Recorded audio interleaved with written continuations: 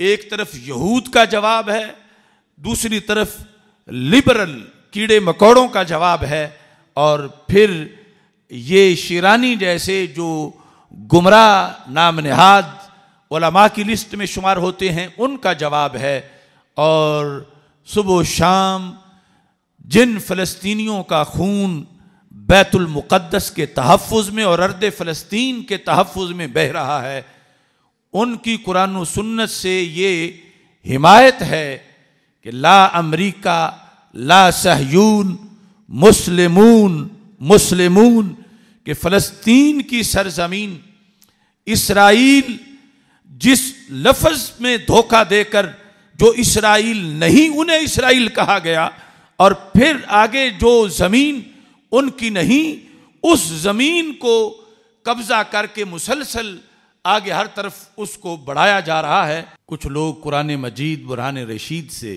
कई आयात के मफहूम में उलझे हुए हैं। उसकी बुनियादी वजह यह है कि इसराइल और यहूद को एक ही समझा जा रहा है। इसराइल और यहूद में बुनियादी तौर पर बहुत ज़्यादा फ़र्क है। हज़रत मूसा सलाम अपनी कौम को जब दीन अता किया कौम बनी इसराइल। हज़रत मूसा सलाम के पैगाम से रोशनी मिली। कुछ वक़्त गुजरने के बाद बनी इसराइल का एक हिस्सा काफिर हो गया। बनी इसराइल से जो लोग कुफर में गए, उनको यहूद कहा गया। और ख़ुद बनी इसराइल उसके लिहाज से कुरान मजीद, बुरहान रशीद ने उनकी शान को बयान किया। या बनी इसराइल अजकुरु नमती अनम तो अलैकुम व अन्नी फ़ल तुकुम आलमीन। कह औलाद याकूब, याद करो मेरा वो एहसान, जो मैंने तुम पे किया। याद करो जो रसूल पाक सल्लल्लाहु अलैहि वसल्लम के ज़माने में, ज़ाहरी हयात में, जब कुरान उतर रहा था ये लोग जो हैं, इनको माजी याद कराया जा रहा है।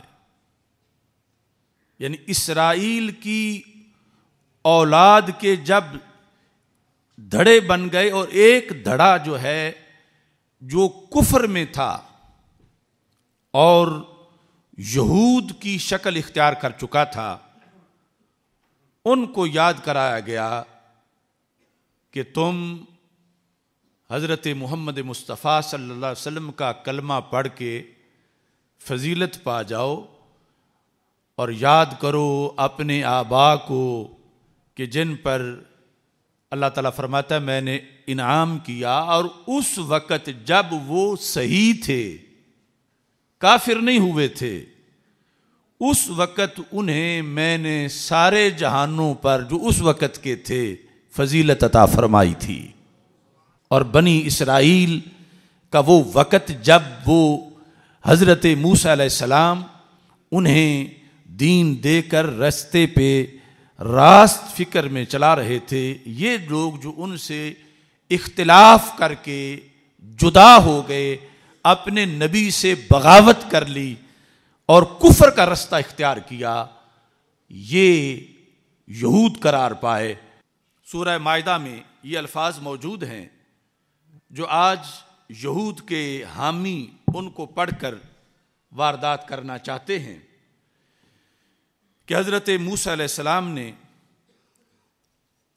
कहा, या कौम, या कौमिद खुलुल अर्दल मुकद्दस, ए मेरी कौम, तुम अर्द मुकद्दसा में दाखिल हो जाओ। अल्लती कतबल्लाकुम वो अर्द मुकदसा जो अल्लाह ने तुम्हारे लिए लिखी है। वला तरतद्दू अला अदबारिकुम फ़तन कलिबू खासरीन। और पीछे ना पलटो कि अगर पीछे पलटोगे तो फिर खसारा ही खसारा तुम्हारे लिए होगा।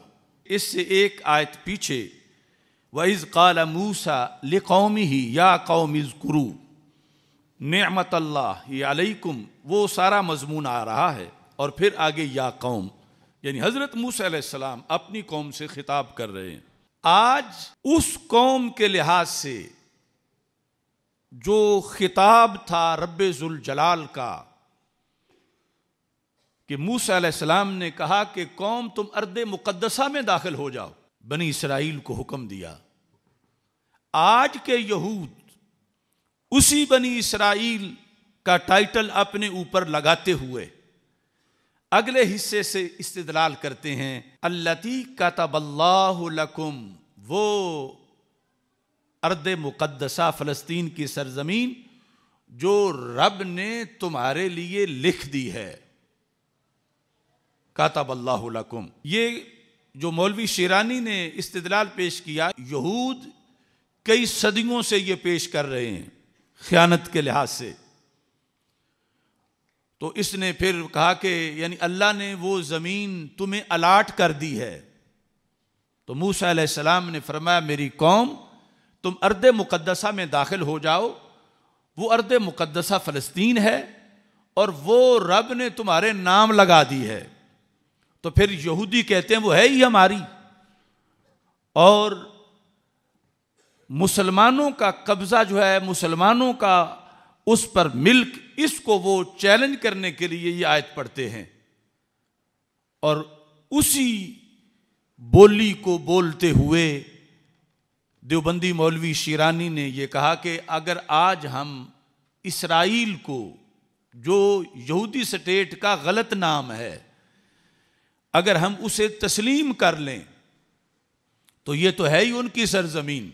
फिर तस्लीम करने में हरज क्या है? मौलवी शिरानी ने वो पश्तों में उसकी तकरीर है उसमें, लेकिन तबसरा इंग्लिश में, वो यहूदी स्टेट वालों ने वहाँ इसराइल में किया है कि ये, और फिर उसने पश्तों में यह कहा कि उलमा को सोचना चाहिए इस बारे में, और ज़िद नहीं करनी चाहिए, खून रेजी नहीं करनी चाहिए, खून नहीं बहाना चाहिए, लिहाजा इसराइल को तस्लीम कर लेना चाहिए माजल्ला ये यानी हालात हैं इस वक्त।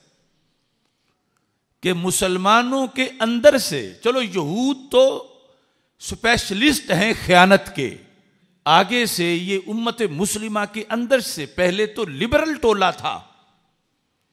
और अब मौलवी उलमा में से उन्होंने कुछ लोगों को खरीदा और इस तरह की बातें जो हैं वो शुरू हुई।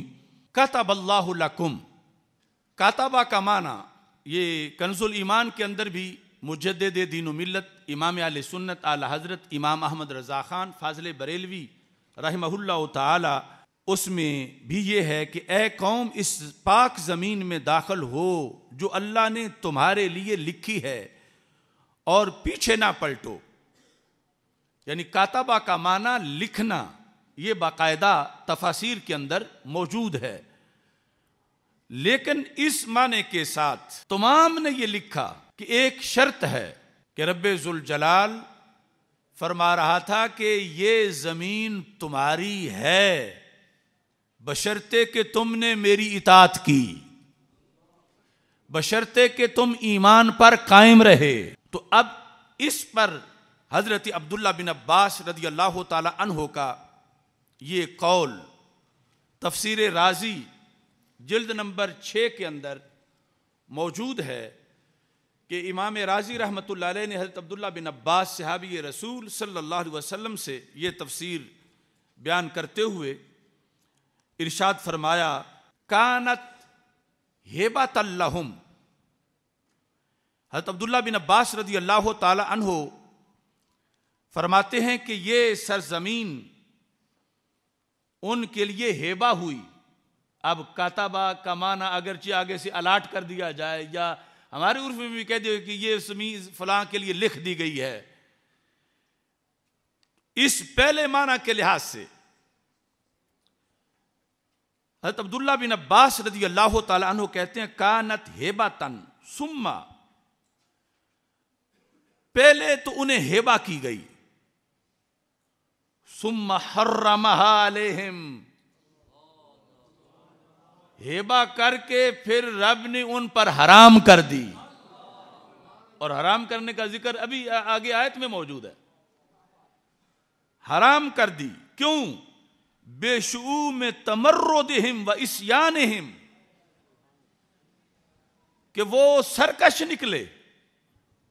वो बागी थे। और रब को पहले ही पता था। लेकिन हज़रत मूसा सलाम का जब ये कलमा पढ़ रहे थे तो उस वक़्त कि ज़मीन अल्लाह नेक लोगों को अता फरमाता है तो ईमान की शान के इजहार के लिए ये फरमाया गया कि तुम दाखिल हो जाओ।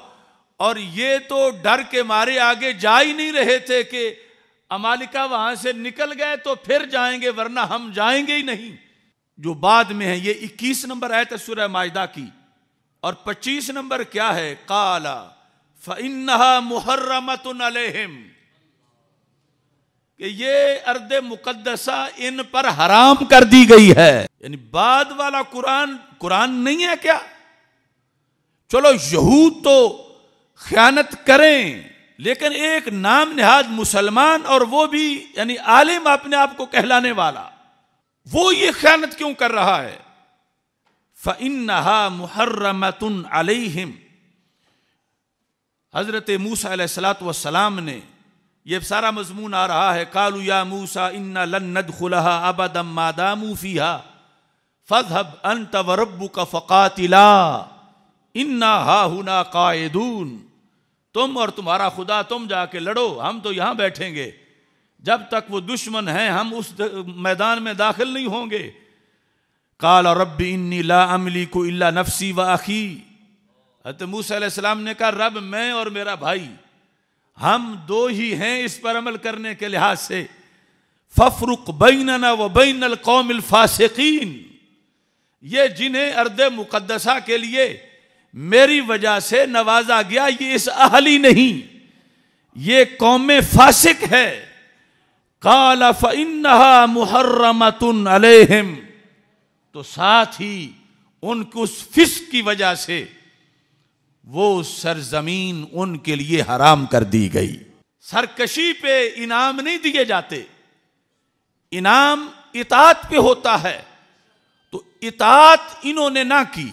रब्बे जुल जलाल ने वही सरजमीन इन पर हराम कर दी। बेशू में तमर्रुदहिम व इसयानहिम। ये मुहदसिन ने और मुफसरीन ने सवाल किया कि एक तरफ़ है कतब अल्लाह और दूसरी तरफ़ है मुहर्रमतुन। तो ये तो कुरान में तारुज आ जाएगा कि उधर जो है वो है कि कतब अल्लाह रब ने लिख दी है और आगे है कि अल्लाह ताला ने उसको हराम कर दिया है। तो सबने कहा, इसमें कोई तारुज नहीं है। इस वास्ते कि रब ने लिखी ही बशरते ईमान थी। लिहाजा कुरान मजीद में फलस्तीन की सरजमीन को हरगिज़ यहूद की ज़मीन करार नहीं दिया गया, बल्कि हराम करार दिया गया यहूद के लिए कि ये यहूद की सरजमीन नहीं है। सत्रहवें पारे के अंदर इरशाद फरमाता है, अल्लाह ताला फरमाता, वाला कद कतबना। ये वही कतबना आ गया। वाला कद कतबना। बेशक हमने लिखा, कहा फिज ज़िक्र, अन्नल अर्दा यारिसुहा इबादिया सालिहून. अल्लाह ताला फरमाता है, ये जो मैं मालिक बना देता हूँ तो उसमें शर्त होती है, तब वो मिलक मिलेगा जब कौम साले होगी। तो जिस वक़्त इन्होंने अंबिया अलैहिस्सलाम को कत्ल किया, इन्होंने हर हर जुर्म और हर हर जुल्म किया तो ऐसे को तो साले नहीं कहा जाता। तो खाल के कायनात जल्ला जलालहू ने अपना कानून कुरान मजीद, बुरहान रशीद के अंदर वाज कर दिया कि ये है अटल फैसला कि लिखने का मतलब ये होता है कि अनल अर्दा यारी सुहा इबादी सालहून, के जो मेरे साले बंदे हैं, वो ज़मीन के वारिस हैं।